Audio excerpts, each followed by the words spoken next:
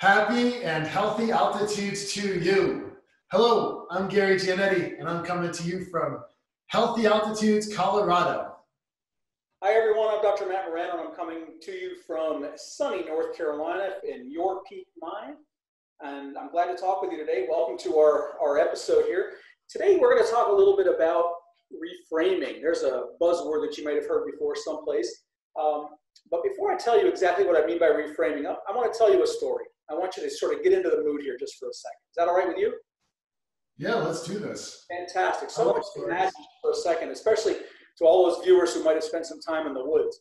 And what I want you to do is I want you to just imagine yourself or remember a time when maybe you were walking in the woods and you're walking along, and I'm just going to give you a little bit of guided imagery here. You're walking along, you're walking, everything's nice, it's a beautiful day, the wind is blowing, it's a beautiful thing. You can smell wonderful smells from nature. You're walking along, and suddenly you come upon a snake in the path. And that snake is just sitting there. It's just, just sitting there, sunning itself, whatever. It's a snake in the path. Immediately you freeze. What do you do? What's going on in your mind? For a lot of people, me included, seeing that snake in the, in the road or in the path might make my heart start to race, might make me start thinking, oh my gosh, what's going to, do I have to run? Should I, should I stay frozen? What should I do? In that split second, when I can recognize that there's a threat in the road, when that snake is sitting on the, on the path, all of a sudden I went from having a really nice, wonderful day to going, oh my gosh, there's, a, there's something that could really hurt me. And yeah. just, it, that's all it took. Now imagine just in that same second that one more look at that snake and it turns out it's just a piece of old rope. what happens? Yeah. You sort of just kick yourself and you say, oh man, it's just a rope. But your heart rate begins to immediately come down. You start coming back to what is normal and you start going, oh man, I really overreacted with that. It was just a rope. Your perception of what you saw is your reality. In that yeah. moment, perception was a, a very dangerous animal was sitting on a path in front of you. But then all of a sudden, your perception changed, and what happened? You came right back down again. Your heart didn't race as, as long. Maybe it came down from um, being as fast as it was beating. Uh, your, your fight or flight was deactivated. Everything was fine.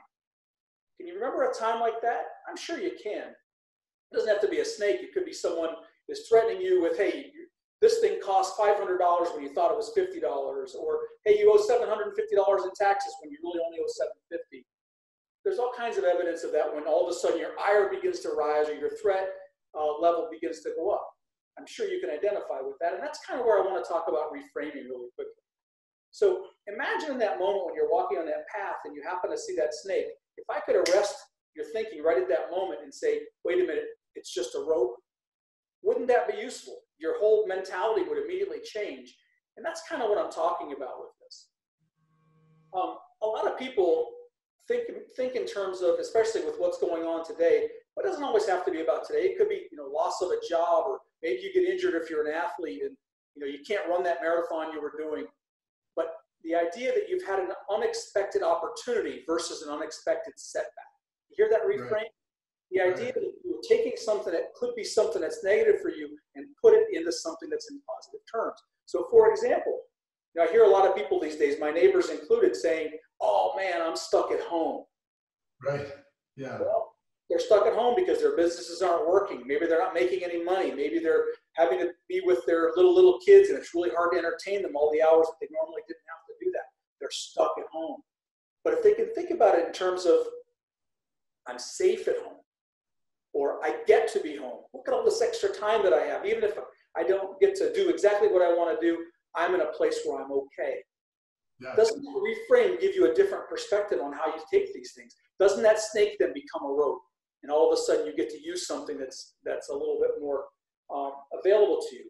Or maybe in, terms of the athlete who says, oh man, I stubbed my toe, now I can't run anymore. Well, what can you do? How can you reframe mm-hmm. that situation? Maybe if you can't use your, your foot because you've stubbed your toe, maybe you know this is a great, great time to take care of those pecs. Something you can yeah. do to sit down and maybe do some exercising to work on a different part of your body because you still can do something. If you can't do anything physically, maybe you can do something with your mind. Maybe it's a great time to take up uh, Sudoku or, or one of those things. There's a million games out there. The point yeah. is, reframe it to, the, to something that is going to be beneficial to you.